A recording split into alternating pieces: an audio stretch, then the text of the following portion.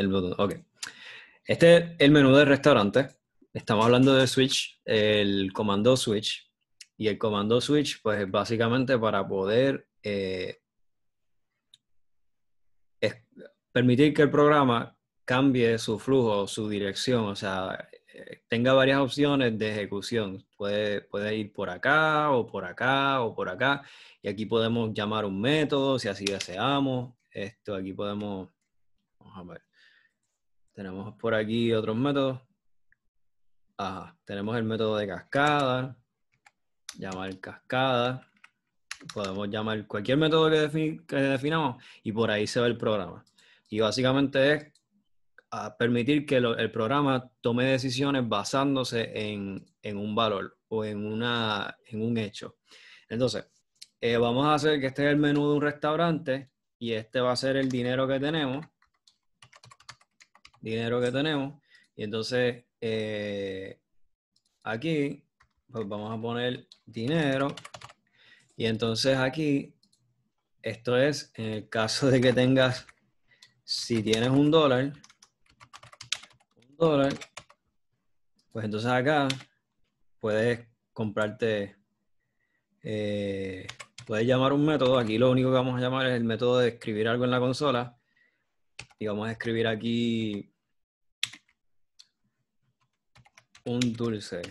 Tú puedes comprar un dulce en el restaurante. Entonces acá, eh, si tienes dos dólares,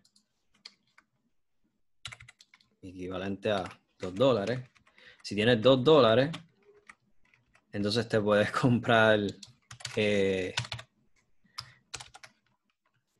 un jugo. Entonces acá lo mismo, si tienes un, shortcut, shortcut es un atajo para no tener que escribir todo, todo el nombre de, de la clase y el método. Para escribir en la consola, simplemente escribes CW y le das tab y ya.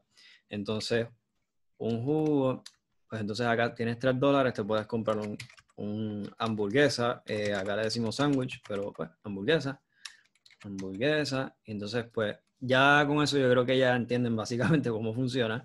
Entonces pues vamos a leer un momentito aquí del libro.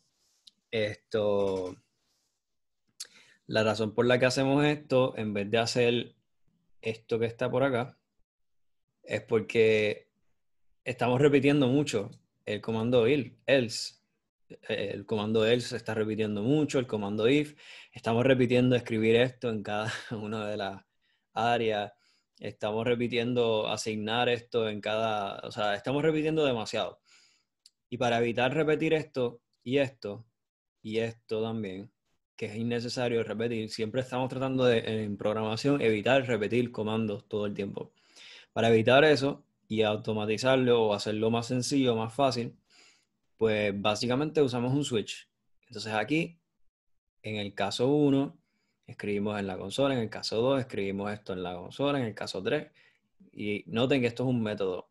Así que esto, puede, esto pudiera llamar un universo, o sea, eso puede llamar hasta un sistema operativo. Ahí, ahí tú le puedes poner lo que tú quieras. Puedes llamar miles y miles de métodos y no hay ningún problema, objetos, clases, esto es una, una instancia de una clase, así que aquí tú puedes redirigir el programa con toda la capacidad, ¿verdad? Sin ningún problema. Entonces vamos a continuar. Ya sabemos para qué es esto y esto solamente se puede utilizar o se debe utilizar cuando es una variable que tenemos siempre que chequear esa misma variable, tenemos que chequearla como cinco o, o, o tres, cuatro veces, puede ser infinitas veces. Tú puedes seguir bajando por aquí cada case break, case, break, esto infinitamente, haciéndole muchas pruebas a una sola variable, lo puedes seguir haciendo. Pero, pues básicamente es para que entiendas cómo funciona, que entiendan cómo funciona esto. Y entonces, pues básicamente eso es lo que hace el switch case. Pero entonces, vamos a ir un poquito más profundo usando el libro de Microsoft. Eh, vamos a entender la sintaxis. Ok. El caso es cuando evaluamos si esta variable, si el valor de esta variable es igual a 1. Esto es como si estuviéramos escribiendo este montón de cosas que están acá. Día es igual a 0, pues es como si estuviéramos escribiendo eso, pero en realidad solamente escribimos case y podemos hasta darle copy paste. Si, si dinero es igual a 1, haz esto. Si dinero es igual a 2, haz esto. Si dinero es igual a 3, haz esto. Entonces, el comando de break es que termine. Vamos a seguir leyendo rapidito. Eh, y también, otra cosita también importante es que hay un, hay un default, hay un, un comando que siempre va a correr. Este que está aquí, siempre corre. Siempre corre. Y esto, esto es... Eh, disculpen, este, este no siempre corre. Este solamente corre si todo lo que está aquí arriba no cumple. O sea, si ninguno de estos valores, 1, 2, 3, 4, si, si dinero no, no, está en ninguna de esas, entonces caemos acá, en default. Eh, y es como para tratar de cachar todas las posibilidades para evitar que ocurra una excepción. Una excepción es cuando el programa está en un momento que no sabe qué hacer porque no está diseñado para bregar con eso. Y entonces, pues aquí tratamos de cachar todas esas posibilidades para que el programa nunca termine en un estado donde no sabe qué hacer porque no le dimos las, debidas instrucciones. Y es malo cuando pasa eso porque la computadora se frisa y no queremos que eso pase. Eh, pudiéramos hacerlo, pero no es el tema. Podemos hacerlo manualmente, ¿verdad? Pero ese no es el tema del que estamos hablando. Así que, ok. Eh, así que aquí tenemos la estructura básica. Vamos a seguir aquí profundizando un poquito más en el libro. Eh, la expresión que controla debe estar, eh, debe estar en, envuelta en paréntesis y se evalúa una sola vez. Después el control brinca al siguiente bloque de código que está identificado por la expresión constante. Entonces,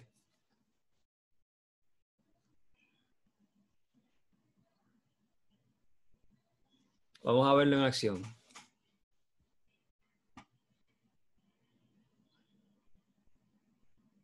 Vamos a ver esto rapidito aquí en acción. Vamos a llamar el método switch y vamos a ver qué, qué sucede. Aquí, dinero es igual a 10, así que no va a ser ninguna de estas. Se va a ir por default. Así que eh, se supone que solamente corra esto. Vamos a, ponerlo aquí rapidito. Wow, tienes mucho dinero. Se supone que esto sea lo que parezca en la pantalla. Mucho dinero. En vez de un dulce, un jugo, una hamburguesa, va, a salir esto. ¿Por qué? Porque dinero no machea con ninguna de estas. Y estas van a ser ignoradas y solamente va a correr el default. El que siempre corre si ninguna de estas machea. Si ninguna machea, este corre. Si una de estas machea, olvídate de este, este no va a correr. Entonces vamos a, a correrlo rapidito. Bueno, antes de correrlo, tenemos que llamar el método en el main. Así que vamos a llamar el método porque si no, no va a correr. Eh, switch. Aquí estamos. Aquí vamos, ya está. Eh, ya estamos llamando el método. Tenemos que ponerle estático. Ajá. Tenemos que ponerle estático porque si no, no va a, a correr. Entonces. La, la, S tiene que ser en mayúscula. Ah, chico, gracias, de verdad. Un millón de gracias. Eh, y también la H nos está machando. Eso es bien importante. Si no... Switch, ya está. Ahí está. Entonces, eh, vamos a correr. Ahí está.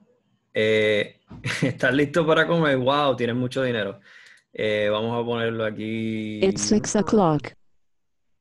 ¿Dónde está la, consola? Aquí está la consola. Wow, tiene mucho dinero. Eh, ¿Por qué? Porque dinero no cumplió con la con este caso, con caso 1, caso 2, caso 3, ninguno, no me ha con ninguno. Pero si le ponemos aquí a dinero 1. Vamos a ver qué pasa. Un dulce. Dinero macho con un dulce. Así que vemos que el programa empieza a correr por aquí, tú, tú, tú, tú, llega aquí y dice, ah, mira, esto machea. Ah, pues está bien. El comando break te saca del programa. Es como si le, es como si le escribiera return en un método.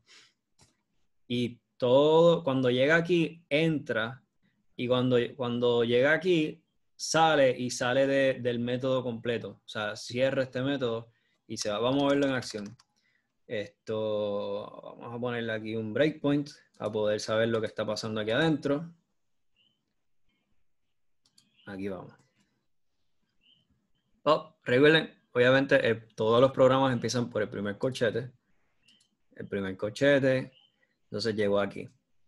Porque pusimos el breakpoint aquí, así que el programa, nosotros vamos a ver cuando llegue aquí. Pero si queremos verlo desde el principio, desde el principio, pues lo ponemos acá. Pero aquí vamos a ver, vamos a entrar dentro de este método, vamos a ver cómo corre.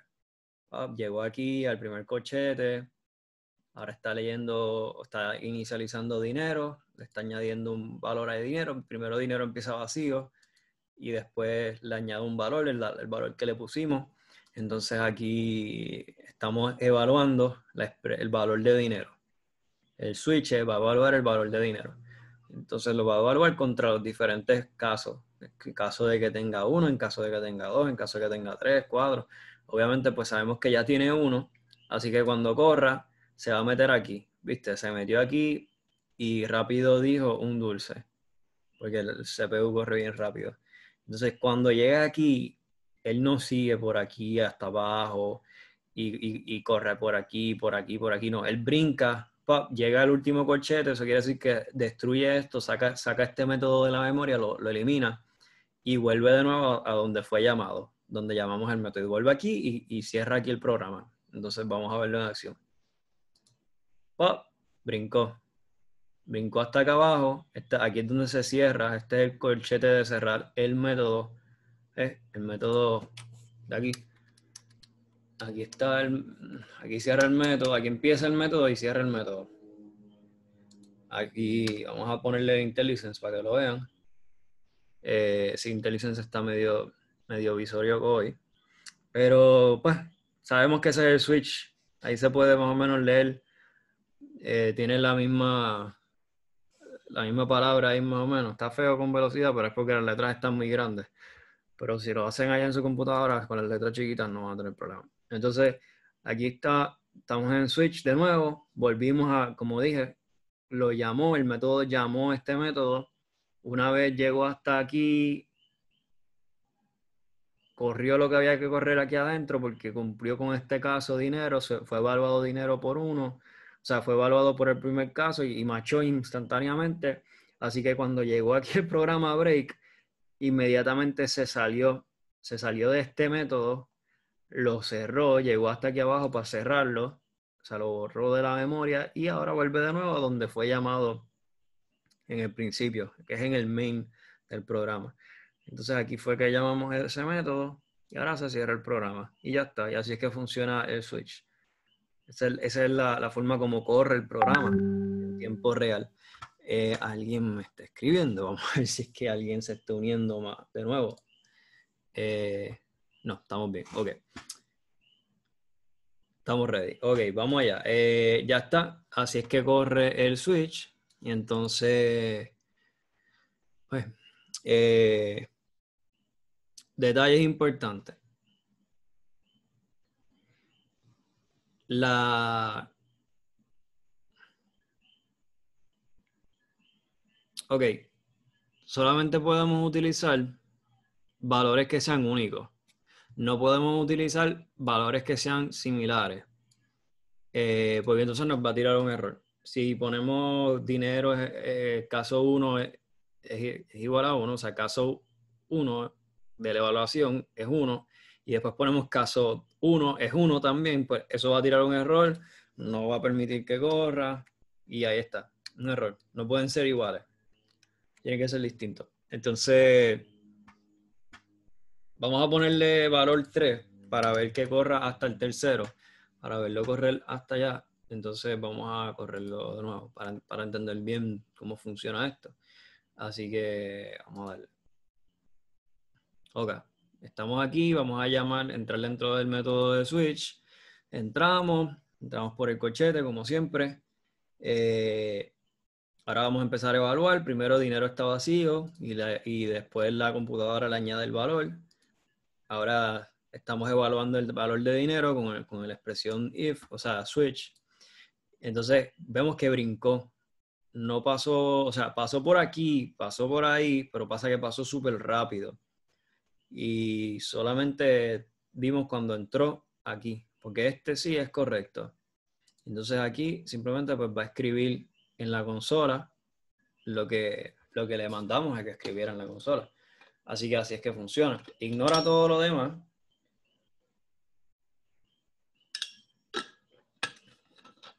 Y va al punto. Entonces, eh, aquí eso va a hacer que cierre el método. El método se va a cerrar, va a brincar hasta el último colchete y lo va a cerrar y va a volver a donde se llamó. Y ya está. Entonces se va a cerrar el programa porque este es el último colchete del programa, ya no hay más nada aquí adentro para que corra el programa, así que se cierra el programa y ya está. Entonces, eh, las reglas de los switch statements, o sea, de los comandos de switcher para cuando tenemos que tomar diferentes, muchas decisiones distintas. Ok. Es bien útil este, este switch, pero lo malo es que no siempre lo podemos usar. A veces lo malo es que no podemos usarlo cuando queremos usarlo. Todos los switch statements tienen que valerse por los cuatro mandamientos que están aquí en el libro de Microsoft, que dice que todos los switch eh, todos los, tipos de data que podemos usar con los switch son int, char o string. Solamente podemos usar estos tipos de data.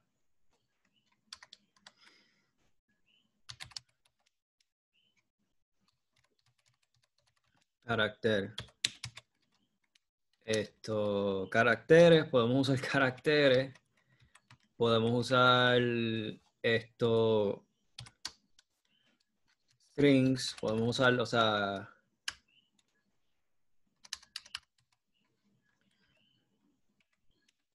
podemos usar secuencias de letras, o sea que serían palabras, oraciones, podemos usar eso.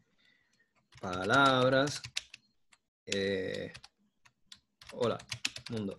Podemos usar esto en el case, en el switch case, para evaluar, tener miles de opciones siempre, obviamente. Podemos usar también números enteros, como ya lo tenemos aquí. Y pues si usamos esto, si cambiamos, si cambiamos esto por, o sea, si hacemos un cambio aquí, va a funcionar. Vamos a hacer el cambio para poder verlo. Vamos a cambiar a carácter. Carácter es simplemente un, carácter, o sea, una, una letra. Si cambiamos a eso y ponemos caso a, caso B, creo que tengo que ponerlo entre, entre paréntesis, o sea, entre, aquí está. Así que hay que escribirlo. Y ahí va a correr sin ningún problema. Entonces, esto, aquí vamos. Ahí está. Entonces, de nuevo falta otro. Y ahí lo tenemos eh, con letras en vez de con...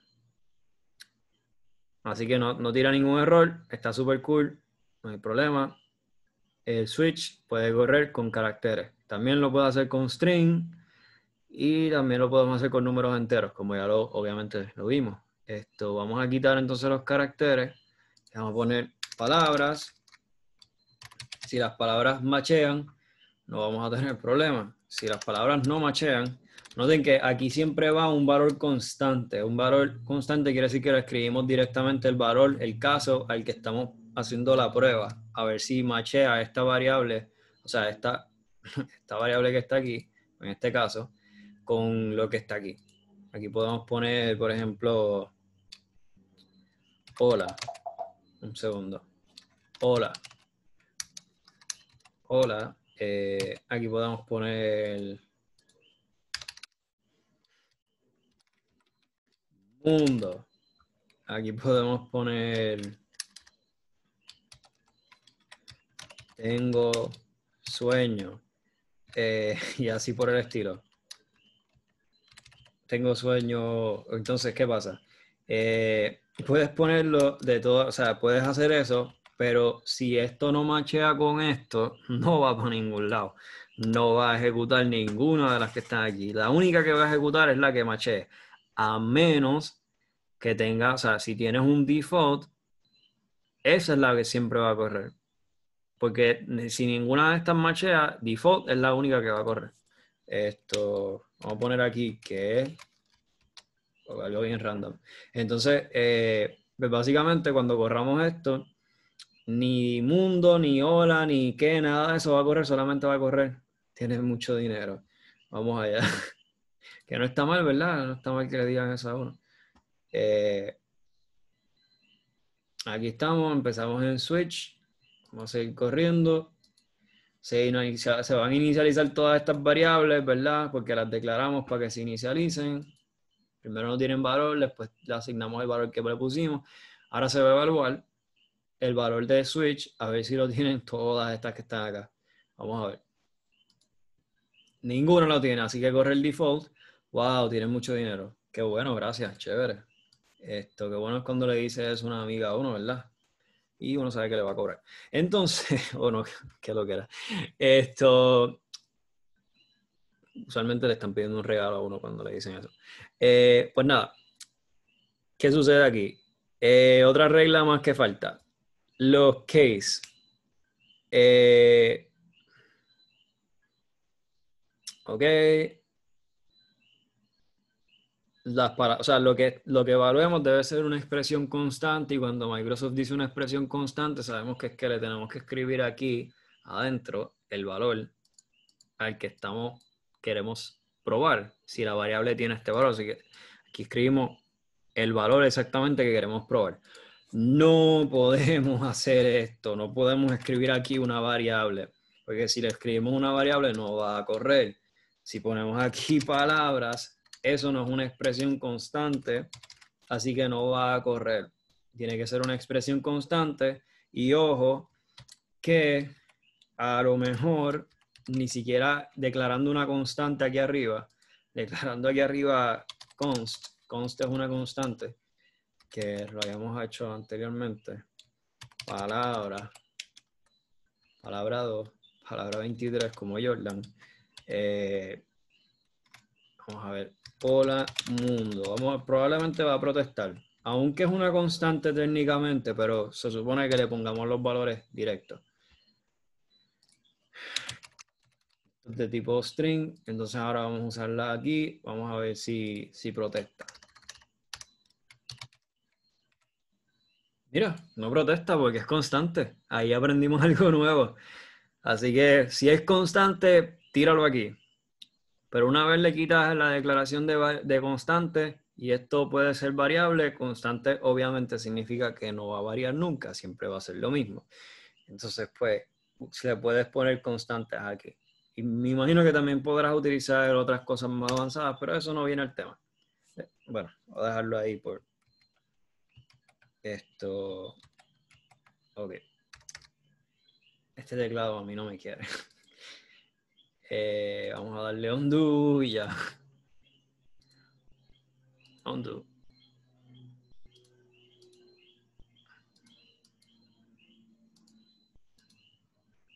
Ok, perfecto. Entonces la última regla es... Eh,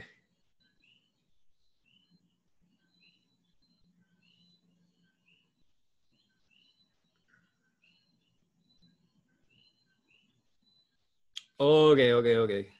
Aquí está. Se puede modificar el switch para que para que cada uno de los casos corra uno detrás del otro.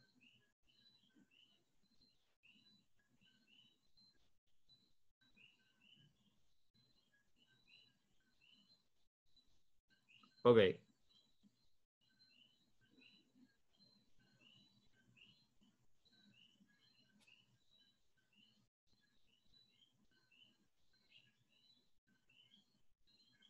Ok, ok, ok. Que si eliminamos esto, si eliminamos los breaks, podemos hacerlo, podemos eliminar los breaks, pero entonces siempre el default va a correr. Aunque corran todos estos que están aquí, este aquí, este tiene que terminar de correr. Tiene que haber algo que le diga al programa termina. Así que vamos a hacer la prueba. Eh, a ver si no grita. Ah, empezó a gritar.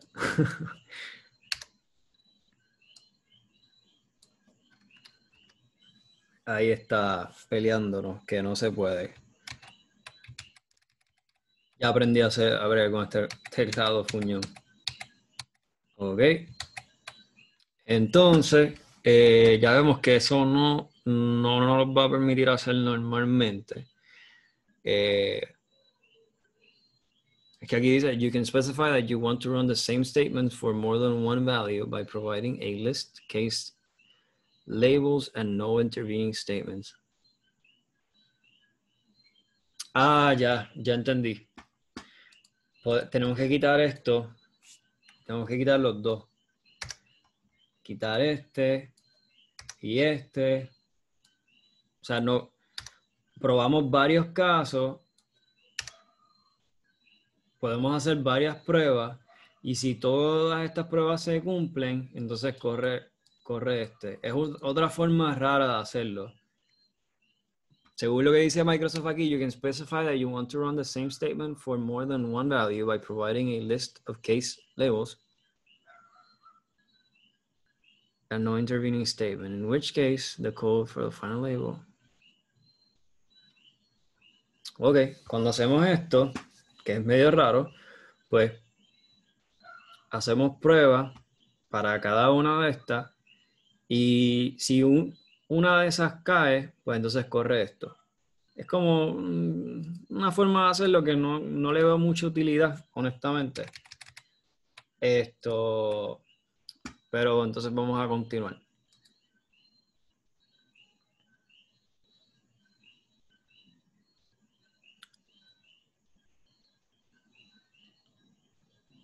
Ok la forma más común de bregar con el, con el determinar aquí, o sea, en este caso de que palabra sea igual a hola, vamos a correr esto, terminamos. Esto significa terminamos.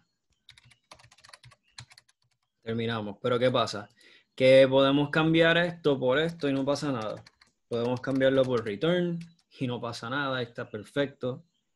Eh, podemos cambiarlo por y return es lo mismo que break, es exactamente lo mismo. Y después podemos hacer algo más avanzado, eh, podemos throw.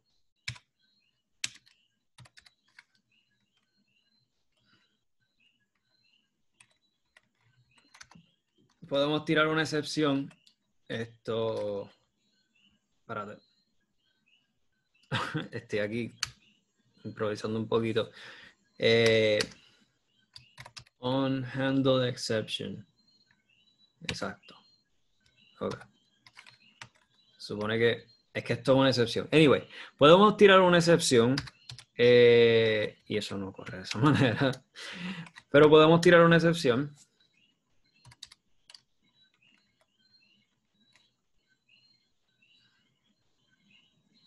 Y las excepciones más adelante las vamos a, a ver cómo se hacen pero las excepciones pues no aplican en este caso, porque esto es otro tema. Las excepciones son en caso de que ocurra algo que no sabemos cómo bregar, pues entonces tiramos la excepción. Pero, pues, por ahora no tenemos que bregar con eso porque eso es más avanzado. Eso es para tratar de evitar que el programa esté en un estado en el que él no sabe qué hacer. Pero ahora mismo no tenemos que trabajar con ese tema porque solamente estamos aprendiendo las cosas básicas, pero eso es así. Entonces, eh, ¿qué más? Eh, eso, eso es más adelante en el capítulo 6. En el capítulo 6 se va a hablar de eso. Entonces, como no podemos accidentalmente eh, brincar de, de, una a otra, porque, porque siempre hay un, un- break que evita que brinquemos de una a otra. Pues entonces, eso nos ayuda a, que solamente corra una de todas, o sea, una de todas a la vez.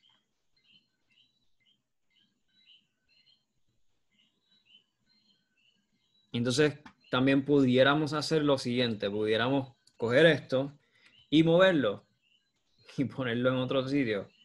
Eh, se puede hacer y no va a tener ningún error.